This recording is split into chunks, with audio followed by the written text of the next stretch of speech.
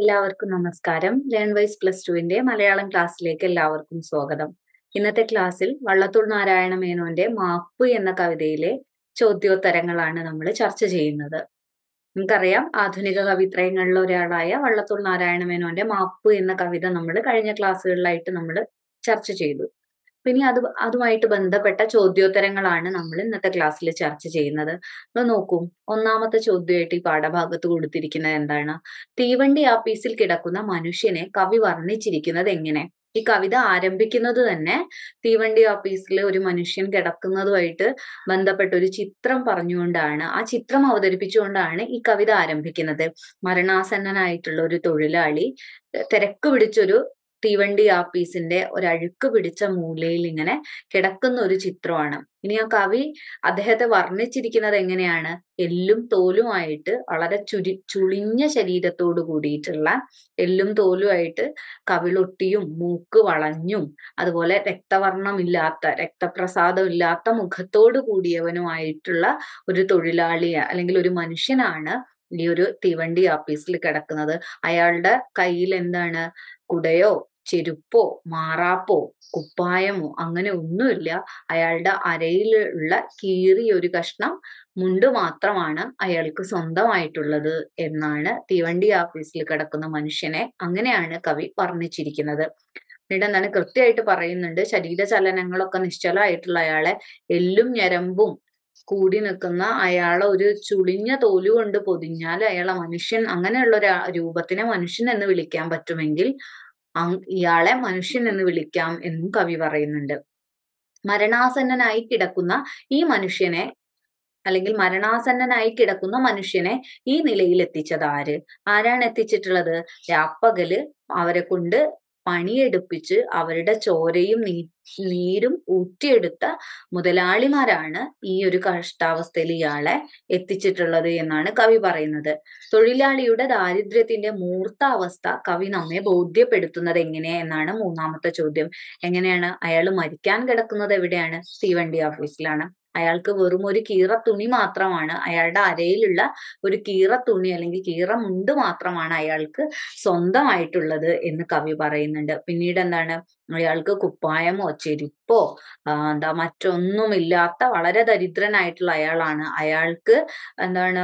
അയാളുടെ ഒരു ഒരു കുടിലിന്റെ അച്ഛനും അമ്മയും കുട്ടികളും ഒക്കെ ഉള്ള ഒരു കുടിലിന്റെ നടുത്തൂണായി നിൽക്കുന്ന അയാൾക്ക് മരിക്കാൻ കിടക്കി കിട കിട്ടിയിട്ടുള്ളത് ഒരു മരപ്പലകയാണ് എന്ന് കവി സൂചിപ്പിക്കുന്നുണ്ട്. അതായത് ഇത്തരം ദാരിദ്ര്യത്തിന്റെ ഒരു അവസ്ഥയിലുള്ള ഒരു ആളാണ് ഈ തൊഴിലാളി എന്ന് സൂചിപ്പിക്കുകയാണ്. അടുത്തത് എന്താണ്? മരണാസന്നനായ ആ മരണാസന്നനായ തൊഴിലാളിയുടെ കിടപ്പ് കണ്ടപ്പോൾ ചുറ്റും കൂടിയ ആൾക്കാരുടെ പ്രതികരണം എന്തായിരുന്നു? എന്തൊക്കെയായിരുന്നു പ്രതികരണം? ചിലരെന്താണ്? വളരെ കഷ്ടം എന്ന് പറഞ്ഞു. ചിലരെന്താ പറയുന്നത്? ചിലര് ചിത്താർദ്രത എന്ന് പറഞ്ഞിട്ട് നമ്മളോട് കവി പറയുന്നുണ്ട്. ചിലരുടെ മനസ്സിൽ ഒരു ആർദ്രത എന്താ ഉള്ളത് കൊണ്ട് അവരെന്താണ് ഓ കഷ്ടം എന്ന് പറഞ്ഞു. ചിലരെന്താണ് ഓ ഇയാൾ പിന്നെ ഇയാളുടെ ശരീരത്തു നിന്നൊക്കെ ദുർഗന്ധം അല്ലെങ്കിൽ മലിനായ ഒരു സ്ഥലത്തൊക്കെയാണല്ലോ അയാൾ കിടക്കുന്നത്. അപ്പൊ സ്വാഭാവികമായിട്ടും അറപ്പോട് കൂടിയിട്ട് ചിലര് മുഖം തിരിച്ചു മൂക്ക് പൊത്തി ചിലരോ ഓ ഇയാളിതാ മരിക്കാൻ പോകുന്നു എന്ന് പറഞ്ഞു.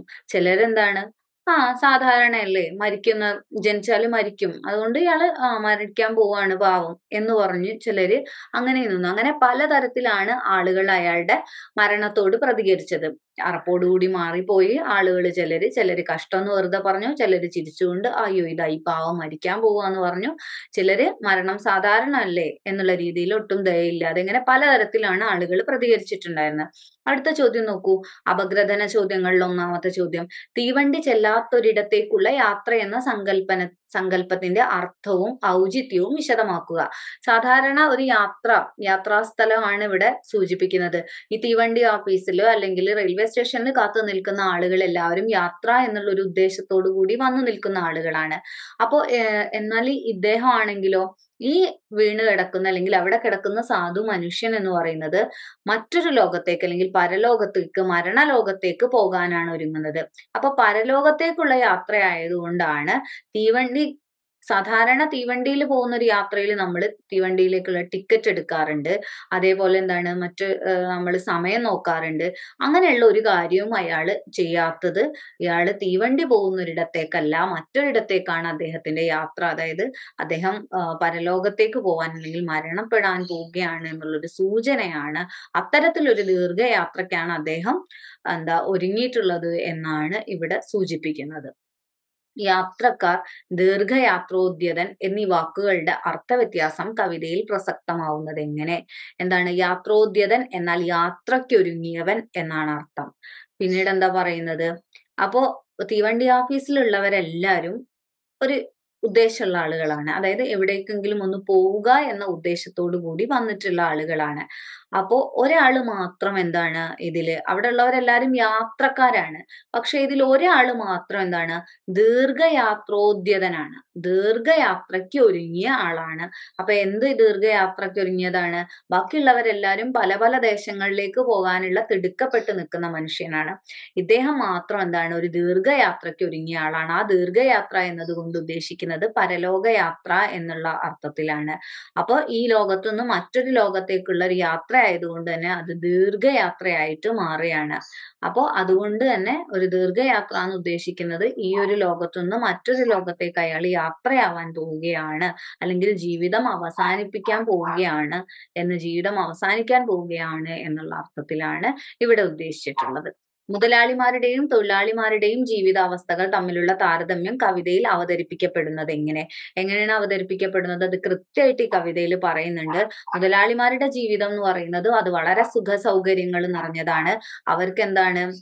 അവരുടെ സൗധങ്ങളിൽ ഇരുന്നിട്ട് അവർ രമിക്കുകയാണ് ചെയ്യുന്നത്. അവർ വിശിഷ്ട ഭോജ്യങ്ങൾ അവരുടെ ഭക്ഷണം എങ്ങനെയുള്ളതാണ്? അവർ എന്താ അവർക്ക് വേണ്ടിയിട്ട് രാപ്പകൽ ചോരയും നീരും വറ്റിച്ച് പണിയെടുത്ത ആളുകൾക്ക് ആളുകളുടെ അവസ്ഥ നമ്മൾ ഈ കവിതയിൽ കണ്ടതുപോലെ ഇതുപോലെ റെയിൽവേ സ്റ്റേഷനിലോ അല്ലെങ്കിൽ തീവണ്ടി ഓഫീസിന്റെ മലിനമായ മൂലയിൽ കിടന്ന് മരണപ്പെടാൻ വിധിയുള്ള ആളുകളാണ് അവർ. അവർക്ക് എന്താണ്? അവർക്ക് കിടക്കാന് മരപ്പലകയാണ് കിട്ടുന്നത്. അവിടെ മരപ്പലകയിൽ കിടന്ന് മരിക്കാനാണ് അവരുടെ യോഗം തൊഴിലാളികളുടെ. എന്നാൽ മുതലാളിമാരുടെയോ അവർക്ക് പൂമ്പട്ട് അവർക്ക് കിടക്കാൻ വേണ്ടി പൂമ്പട്ട് കിടക്ക തുന്നി കൈ കഴച്ചവരാണ് തൊഴിലാളികര് തൊഴിലാളിമാര്.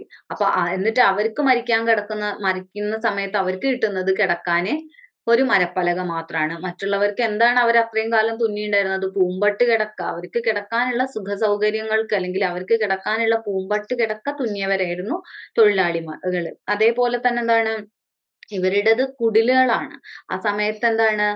അവരുടെ മുതലാളിമാരുടേത് എന്താണ് വലിയ വലിയ സൗധങ്ങളാണ്. അതുണ്ടാക്കാൻ വേണ്ടിയിട്ട് കഷ്ടപ്പെട്ട ആളുകളായ തൊഴിലാളികൾ കിടക്കുന്നത് കുടിലിലും അതുപോലെ റെയിൽവേ സ്റ്റേഷനിലൊക്കെയാണ് അവർ കിടക്കുന്നത്. എന്നിട്ട് മുതലാളിമാർക്കുള്ള വലിയ സൗധങ്ങൾ ഉണ്ടാക്കി കൊടുക്കുകയും അവരുടെ മണിമേടകളിൽ അവർക്ക് അമൃതതുല്യമായ ഭക്ഷണം കഴിച്ച് അവരവിടെ താമസിക്കുകയും ചെയ്യുന്നു എന്നുള്ളതാണ്. ഇനി ഇത് ഇത് തന്നെയാണ് ഇവരുടെ രണ്ട് വിഭാഗത്തിന്റെയും തമ്മിലുള്ള ജീവിതാവസ്ഥകൾ തമ്മിലുള്ള വ്യത്യാസം എന്ന് പറയുന്നത്. ദരിദ്രന്റെ കുടിലിനെ അഭാഗ്യവത്ത് എന്ന് വിശേഷിപ്പിച്ചതിന്റെ പൊരുൾ എന്ത്?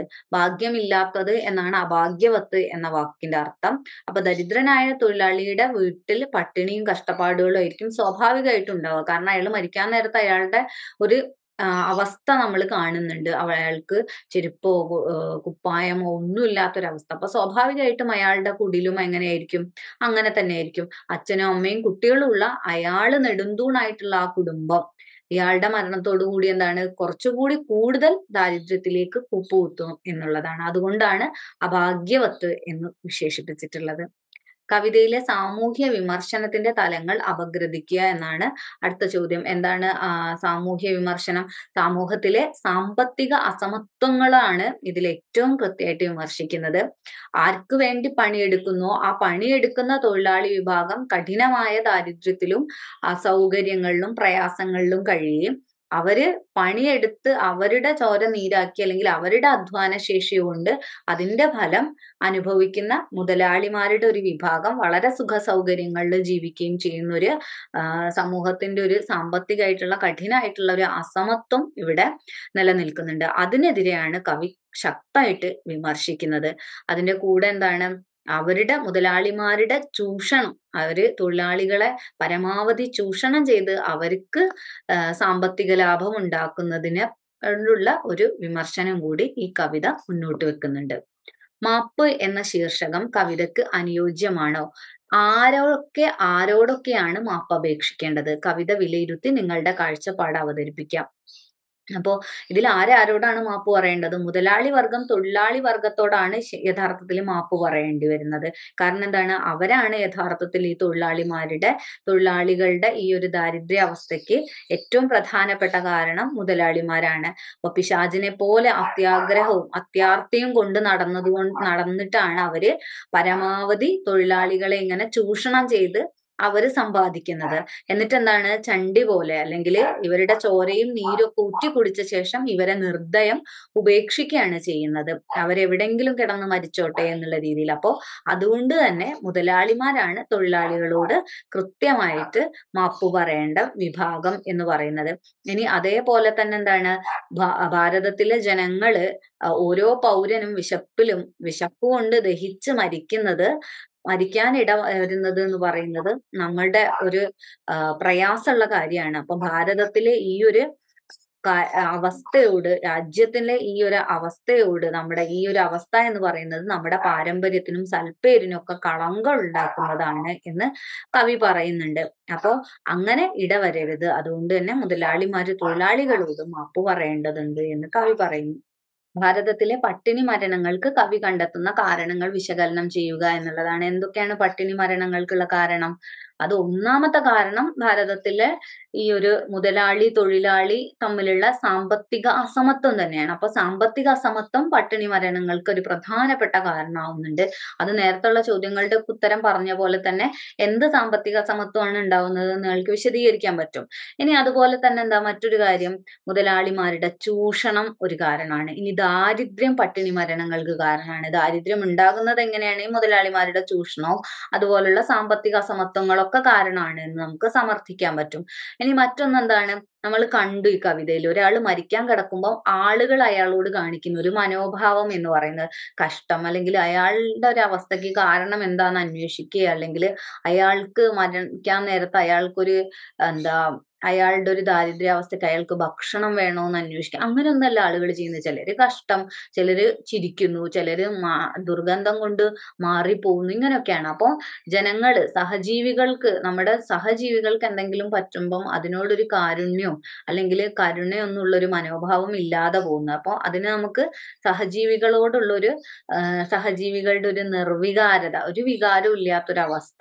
ഇതും നമ്മുടെ പട്ടിണി മരണങ്ങൾക്ക് കാരണമാണ്. നമ്മുടെ തൊട്ടപ്പുറത്തിരിക്കുന്ന ആൾ വിശന്നിരിക്കുമ്പോ അയാൾക്ക് ഭക്ഷണം കൊടുക്കണം എന്നുള്ളൊരു ചിന്ത നമുക്ക് ഉണ്ടാവണ്ടേ നമ്മുടെ സഹജീവികളോട് സ്നേഹം ഉണ്ടായിരിക്കണ്ടേ. അപ്പം അങ്ങനെയുള്ള സഹജീവികളോടുള്ള ഒരു നിർവികാരമായിട്ടുള്ള മനോഭാവം ഇതുപോലെയുള്ള പട്ടിണി മരണങ്ങൾക്ക് കാരണമാണ്. ഇനി മനുഷ്യർ തമ്മിൽ ഒരു പൊരുത്തമില്ലായ്മ അതായത് ഐക്യക്ഷയം എന്ന് കവിതയിൽ പറയുന്നുണ്ട്. കവിതയുടെ അവസാനത്തേത്. ഈ ഒരു പൊരുത്തമില്ലായ്മയാണ് പലപ്പോഴും എന്താണ് ആളുകളുടെ ഈ ഒരു യോജിപ്പില്ലായ്മ ജനങ്ങളുടെ ഈ ഒരു അടിമ ജീവിതത്തിന് കാരണമാകുന്നുണ്ട്. അപ്പോൾ ഇതും ഭാരതത്തിലെ പട്ടിണി മരണങ്ങൾക്ക് കാരണമാവുന്നു. ഇങ്ങനെയുള്ള സൂചനകളൊക്കെ വികസിപ്പിച്ചിട്ടാണ് നമ്മൾ ഇതിൽ എഴുതേണ്ടത്. ഇതിന് ഉത്തരം എഴുതേണ്ടത്. ഇനി അതിന്റെ ഒക്കെ ഉത്തര സൂചന സൂചികകളാണ് ഇതിൽ കൊടുത്തിട്ടുള്ളത്. അത് വായിക്കുക.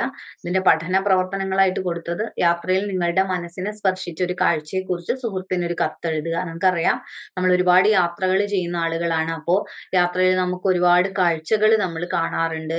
പല സമയത്തും നമ്മുടെ മനസ്സിനെ സ്പർശിച്ച ഒരുപാട് കാഴ്ചകൾ ഉണ്ടായിരിക്കും. ആ കാഴ്ചയെ കുറിച്ച് സുഹൃത്തിന് കത്തെഴുതാനാണ് പറയുന്നത്. കത്തിന്റെ ഒക്കെ ഒരു സ്ട്രക്ചർ ഘടനയൊക്കെ നിങ്ങൾക്ക് അറിയായിരിക്കും. പേര് സ്ഥലം മീൻസ് ഡേറ്റ് സ്ഥലമൊക്കെ എഴുതേണ്ടത് തുടങ്ങുന്ന സമയത്ത് പ്രിയപ്പെട്ട അല്ലെങ്കിൽ ഏറെ ഏറെ സ്നേഹത്തോടെ അങ്ങനെയൊക്കെ പറഞ്ഞിട്ടാണ് നമ്മൾ തുടങ്ങുന്നത്. അതൊക്കെ നമുക്ക് അറിയാം പിന്നെ എന്നിട്ട് അവസാനിപ്പിക്കും എന്നിട്ട് നമ്മൾ വിശേഷമൊക്കെ അന്വേഷിച്ച ശേഷം എന്താണ് നമ്മൾ ഞാൻ കഴിഞ്ഞ ദിവസം ഇങ്ങനെ എന്നൊരു സ്ഥലത്തേക്ക് ഒരു യാത്ര പോവുകയുണ്ടായി. ആ യാത്രയിൽ ഞാൻ കണ്ടൊരു കാഴ്ച എന്നെ ഭയങ്കരമായിട്ട് വേദനിപ്പിച്ചു എന്നോ അല്ലെങ്കിൽ എന്നെ സന്തോഷിപ്പിച്ചു എന്നോ സന്തോഷവും സങ്കടവും ഒക്കെ ഉണ്ടാവുമല്ലോ. നമ്മളെ മനസ്സിനെ സ്പർശിക്കുക എന്ന് മാത്രമേ പറഞ്ഞിട്ടുള്ളൂ. അപ്പൊ എന്നിട്ട് ആ കാര്യം എഴുതുക. എന്നിട്ട് അവസാനിപ്പിക്കുക എത്രയും സ്നേഹത്തോടെ. അല്ലെങ്കിൽ കത്തിനായിട്ട് ഒരു മറുപടിക്കായിട്ട് കാത്തിരിക്കുന്നു എന്ന് പറഞ്ഞിട്ട് നിങ്ങളുടെ പേരെഴുതി അത് അവസാനിപ്പിക്കുക ഇനി അടുത്തത് എന്താണ്? ദാസ്യപ്പണി ഇപ്പോഴും നമ്മുടെ നാട്ടിൽ നിലനിൽക്കുന്നുണ്ടോ? നിങ്ങളുടെ അഭിപ്രായം രേഖപ്പെടുത്തുക. ഇപ്പോഴും നിലനിൽക്കുന്നുണ്ടോ? നിങ്ങളുടെ അഭിപ്രായമാണ് ചോദിച്ചിട്ടുള്ളത്. പല രീതിയിൽ ഇന്ന് ദാസ്യപ്പണി പഴയ പോലെ വീടുകളിൽ ഇങ്ങനെ എന്താ അടിയൻ അല്ലെങ്കിൽ റാൻ എന്നൊന്നും പറഞ്ഞു നിൽക്കുന്ന ആളുകളൊന്നുമില്ല. പക്ഷെ അതിന്റെ വേറെ വേറെ രൂപങ്ങളിൽ ഇപ്പോഴും നമുക്കത് കാണാൻ സാധിക്കുന്നുണ്ട് അല്ലേ? നമ്മുടെ വീട്ടിൽ ഇപ്പോഴും അടുക്കള പണിക്ക് വരുന്ന ആളുകളില്ലേ? വീട്ടിൽ ജോലിക്ക് വരുന്ന ആളുകളില്ലേ? ഹോട്ടലുകളിൽ ഇങ്ങനെ പണിയെടുക്കുന്ന ആളുകളില്ലേ? മുതലാളിക്ക് കീഴിൽ പണിയെടുക്കുന്ന ആളുകളില്ലേ? അപ്പൊ അങ്ങനെയുള്ള കാഴ്ചകളൊക്കെ പഴയ രൂപത്തിലില്ലെങ്കിലും അതിന്റെ മാറിയ രൂപങ്ങൾ കൂടിയും കുറഞ്ഞൊക്കെ നമുക്ക് ഇന്നും കാണാൻ സാധിക്കുന്നുണ്ടല്ലേ? അപ്പൊ അങ്ങനെയുള്ള കാര്യങ്ങൾ എഴുതാം. ദാരിദ്ര്യം പലപ്പോഴും കവികൾക്കും കഥാകാരന്മാർക്കും കൃതികൾ രചിക്കുവാൻ വിഷയമായി തീരാറുണ്ട്. ദാരിദ്ര്യം പ്രമേയമായ കൃതികൾ കണ്ടെത്തി ഒരു പട്ടിക തയ്യാറാക്കൂ. കാരണം അത് വളരെ ഒരുപാട് കൃതികളുണ്ട്. നമുക്കറിയാം ആദ്യകാലത്ത് ഇപ്പം അധ്യാപകരാണെങ്കിലും സമൂഹത്തിലുള്ള ആളുകളാണെങ്കിലും ഒക്കെ അനുഭവിച്ചിരുന്ന ദാരിദ്ര്യത്തെ പറ്റിയിട്ടൊക്കെ ഉള്ള ഒരുപാട് കൃതികൾ ആദ്യകാലത്ത് ഉണ്ടായിട്ടുണ്ട് ഇന്നും അത്തരം കൃതികളുണ്ട്. ഇതിൽ ഇപ്പൊ നമുക്കറിയാം കാരൂരിന്റെ കഥകളൊക്കെ ആദ്യകാലത്തെ കഥകളൊക്കെ ഈ ദാരിദ്ര്യത്തെ സൂചിപ്പിക്കുന്നതാണ്. നമുക്കറിയാം പിന്നെ ദാരിദ്ര്യം കൊണ്ട് സ്കൂളിലെ താൻ പഠിപ്പിക്കുന്ന ഒരു കുട്ടിയുടെ ചോറ് എടുത്ത് കഴിക്കേണ്ടി വരുന്ന അധ്യാപകന്റെ കഥയാണ് പൊതിച്ചോറ് എന്ന കഥയിൽ കാരൂര് അവതരിപ്പിച്ചിട്ടുള്ളത്. ഇനി അതേപോലെ തന്നെ ബഷീറിന്റെ ജന്മദിനം എന്ന കഥയിൽ ദാരിദ്ര്യം കൊണ്ട് എന്താണ് ജന്മദിനത്തിൽ അന്ന് പോലും ഭക്ഷണം കിട്ടാതായിട്ടുള്ളൊരു അവസ്ഥയെ സൂചിപ്പിക്കുന്നത് ജന്മദിനം എന്ന് പറയുന്ന കഥയിൽ അങ്ങനെ ഒരുപാട് കൃതികൾ ദാരിദ്ര്യമൊക്കെ പ്രമേയമായിട്ടുള്ള എന്താ കഥകളും കവിതകളും ഒക്കെ ഉണ്ടായി വന്നിട്ടുണ്ട്. അതിനെ കുറിച്ചുള്ള കൃതികളുടെ ഒരു പട്ടിക നമുക്ക് തയ്യാറാക്കാം. ഇതുമായിട്ട് ബന്ധപ്പെട്ട അധിക വായനയ്ക്കുള്ള പുസ്തകങ്ങളാണ് മലയാള കവിതാ സാഹിത്യ ചരിത്രം ലീലാവതിയുടെ പിന്നെ അതുപോലെ വള്ളത്തോൾ കവിതകൾ. നേരത്തെ പറഞ്ഞു സാഹിത്യമഞ്ജരി വള്ളത്തോൾ പതിനൊന്ന് ഭാഗങ്ങളാണുള്ളത്. ഇനി മലയാള സാഹിത്യ ചരിത്രം കാലഘട്ടങ്ങളിലൂടെ എരുമേലി പരമേശ്വരനുണ്ട് അദ്ദേഹത്തിന്റെ ഇതൊരു സാഹിത്യ ചരിത്ര ഗ്രന്ഥമാണ്. ഈ കവികളെ പറ്റിയെല്ലാം ഉള്ള വിവരങ്ങൾ ഈ പുസ്തകത്തിലുണ്ട്. ഇനി കവിയെ പറ്റി നമ്മൾ തുടങ്ങിയ സമയത്ത് പരിചയപ്പെട്ടു. അതിൽ പറയാൻ വിട്ടുപോയ ഒരു പോയിന്റ് എന്ന് പറയുന്നത് പത്മഭൂഷൺ നൽകി ഭാരതം അദ്ദേഹത്തെ ആദരിച്ചിട്ടുണ്ട്. ഇത്രയൊക്കെയാണ് ഈ ഒരു പാഠഭാഗത്ത് നമുക്ക് പരിചയപ്പെടാനുള്ളത്. അപ്പൊ അടുത്ത ക്ലാസ് വരേക്കും. എല്ലാവർക്കും നന്ദി. നമസ്കാരം.